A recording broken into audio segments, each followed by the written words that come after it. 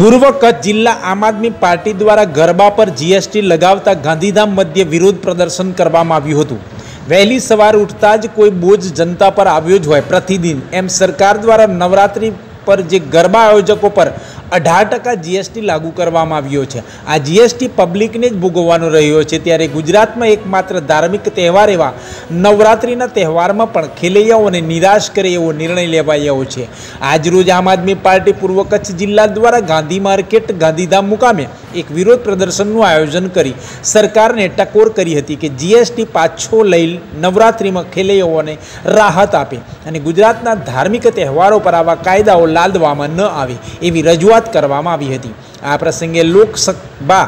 સચિવ સંજયભાઈ બાપટ લોકસભા સંયુક્ત સચિવ નિલેશ મહેતા પૂર્વ કચ્છ જિલ્લા પ્રમુખ જીતેન્દ્ર ઠક્કર પૂર્વ કચ્છ જિલ્લા ઉપપ્રમુખ હિતેશભાઈ મકવાણા ડૉક્ટર કયાનાથ અંસારી અમૃતભાઈ રાઠોડ